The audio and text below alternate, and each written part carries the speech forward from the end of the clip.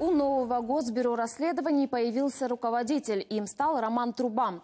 Чем будет заниматься глава ГБР и кому подчиняться, смотрите далее.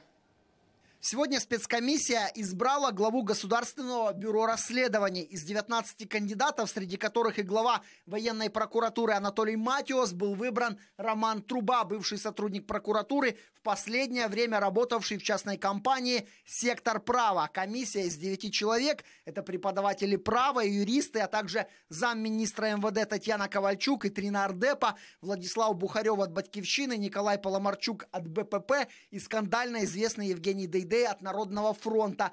Всех кандидатов подвергали проверке на полиграфе, а также ряду собеседований. Формально Госбюро было создано почти два года назад с принятием соответствующего закона в ноябре 2015 года.